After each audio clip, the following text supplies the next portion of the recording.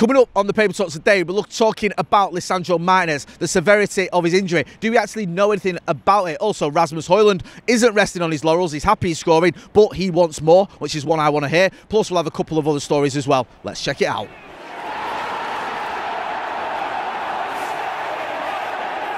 Jay here for Stretford Paddock. This is the paper talk. As you can see, I'm outside Old Trafford, and the weather is quite mild to be honest with you. As a precaution, I'd take your Parkers if you've got them. A uh, few stories to get through, mostly focusing on the morning after, the afternoon before Manchester United beating West Ham 3 0. It feels strange, doesn't it, talking about a relatively comfortable Manchester United win, but there's always a fly in the ointment, isn't there, with Manchester United? We don't do things easily. It's never just a happy, contented day. There has to be a bit of drama, a bit of disappointment, and that comes in the form of the injury to Lisandro Martinez. I've said it before, I've said it countless times, and I know I'm not alone, so I'm not trying to act like Mr. Insightful, but for me, he is our most important player under Erik Ten Hag, and to see him have that injury yesterday was pretty devastating. Now, we don't know the severity of it. We've had lots of different quotes doing the rounds.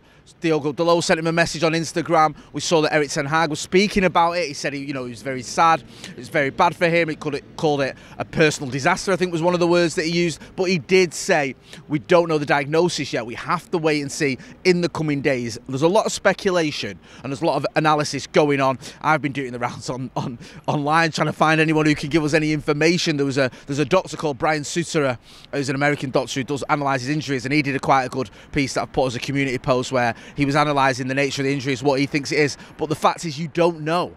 You can't tell until you've had that scan, until you've looked at it, until you've had that proper diagnosis. And as of yet, we haven't had that. So whilst Erik Ten Hag's obviously feeling it, and Diogo Dalot and Lisandro Martinez and others will obviously be well. Lisandro Martinez obviously feeling it, but his teammates and the manager are feeling it. We don't know for definite just how long he could be out for. He could be out for a short amount of time.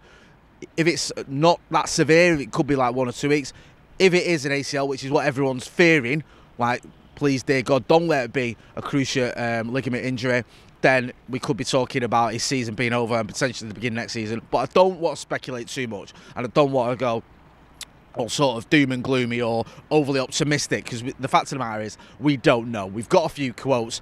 No one can know until you get that diagnosis, which is what Erik Ten Hag has said as well. So as soon as we hear anything, it'll be up on our socials. We'll keep you posted, obviously and pray for Lisandro Martinez. That's all I can say on that one. Uh, there was some positive news though yesterday, obviously, with a nice 3 0 win and goals for Rasmus Højlund and Alejandro Garnacho. Garnacho mocking Mohamed Kudus with his celebration, it seems. Kudus did the similar celebration when he scored against Manchester United early on in the season, I think it was. And uh, Alejandro Garnacho sitting on those advertising boards. I think he knew what he was doing, didn't it? It's a bit of a coincidence. It's the first time I've ever seen him do that celebration, and he happens to do it against West Ham in front of the player that did it against us earlier this season. But made a great picture, didn't it? Him, Kobbie Mainoo, and Rasmus Højlund all sat on those advertising boards. When you see pictures like that, when you see players like that, when you see performances like we saw yesterday, it does give you a little bit of optimism and hope for the future. I know this season has been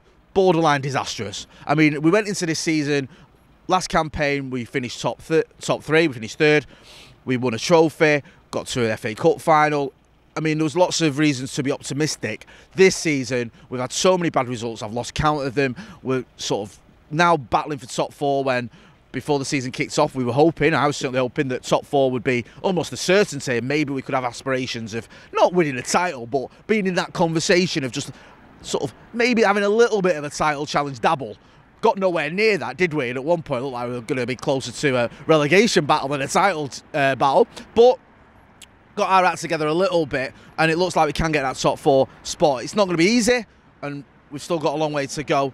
But when you look at the young players we've got, the fact that Kobbie Mainoo seems like the real deal. The fact that Rasmus Højlund, who I'll get to in a minute, has started banging them in in the Premier League to go with the goals he was scoring in the Champions League as well. And we know what he's capable of anyway. Plus Alejandro Garnacho, who's just an ama- uh, amazingly talented teenager. You look at that. You look at the fact that we've now got football people, it seems, in charge of footballing decisions.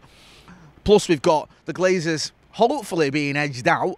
Um, I say hopefully because we don't know, but they've got fewer shares now than they, they, had a few months ago. So I think that's a positive personally, especially when you look at Ineos, the noises they're making. Then maybe there is a little bit of optimism there, a little bit of light at the end of the tunnel. It's it's hard for me to get too carried away as a Manchester United fan. We're saying, oh well, you know, we might get top four. We've got some good youngsters because obviously I'm old enough to remember when we were dominating the league. But I just think there's little green shoots there that it might not be as bad as it was, or we thought it was, a little while ago. Um, just a couple of other stories to get through. Rasmus Højlund, he was doing the rounds this, uh, after the game, as you'd expect, doing the media rounds, talking about his goal. He said it's a big achievement to get double figures for such a big club, but he says he's not done. He says, I'm hungry for more. I want to score more goals, get more wins, and uh, move more up the table. So he's not resting on his laurels. He's saying the right things. He wants more, and I want him to get more, and I think he'll get it as well. When you look at the, the amount of goals he scored recently, I think he's about four in last four or something in the Premier League. He obviously scored quite a few in the Champions League. He's hit that double figures now,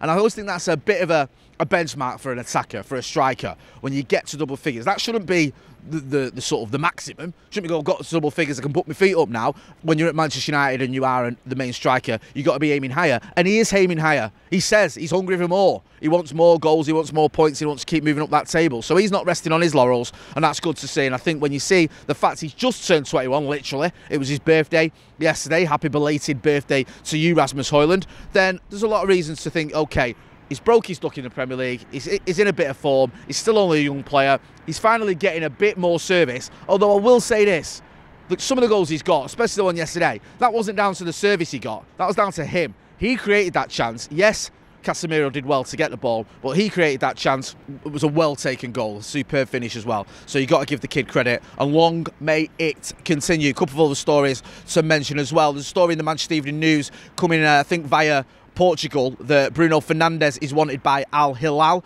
in Saudi Arabia. They're looking at him potentially in the summer. I don't think that's going to happen. I've said this a million times. I think Bruno Fernandes will stay at Manchester United. Maybe he goes to Saudi Arabia when he's in his mid to late 30s. I certainly don't think he's going now. He's far too young and he's far too talented. No disrespect to the Saudi League. I know they have got Cristiano Ronaldo, but let's have it right. They can't even keep hold of Jordan Henderson, so they're certainly not going to get Bruno Fernandes. Let's just get real. Uh, not anytime soon. Anyway, in my humble opinion, get involved in the chat and the comments if you disagree or if you agree. You don't have to argue with me. Also, Mason Greenwood. It's worth mentioning because whenever Mason Greenwood does something or is involved in something, scores a goal or whatever, it is a hot topic. It is covered in the papers. It is covered on social media, and it's worth us mentioning. He scored for Getafe a penalty as well. So there's just a little bit of intrigue going on with Mason Greenwood. There's incident with Jude Bellingham. There's always this sort of talk and reports that maybe Ineos might be willing to revisit the conversation with him. Maybe they won't be. We don't fully know. It's a bit like Lisandro Martinez's injury. No one really knows quite what's going to go on with Mason Greenwood. I just know that every time he does score like he did this weekend, people start going, oh, uh, get him back or he's going to come back. We just don't know, do we? It's a conversation that needs to be had. We know there's interest from Barcelona as well, so it's not like he's without suitors. Maybe the club look at it and go, homegrown player, FFP, can help us out by selling him and just ends that headache. The only other argument might be a bit of FOMO if we do let him go, is he going to carry on scoring goals? The issue isn't his footballing ability, though, with Mason Greenwood. We know what the issue is. It's what went on off the pitch as well. So we don't need to go into that whole debate. I'm sure you're fully aware of it all. I'm going to leave it there. We are going to be back later on today with the Paddock Podcast. Myself, Joe Smith, and Ronaldo Brown, as always. So make sure you're subscribing to the channel so you don't miss out on that. We Want to get to 750,000 subscribers by the end of the season, and with your support, we'll get there easily. I've been Jay Motty. This has been the Paper Talk outside a pretty mild but slightly breezy Old Trafford. Thanks for watching.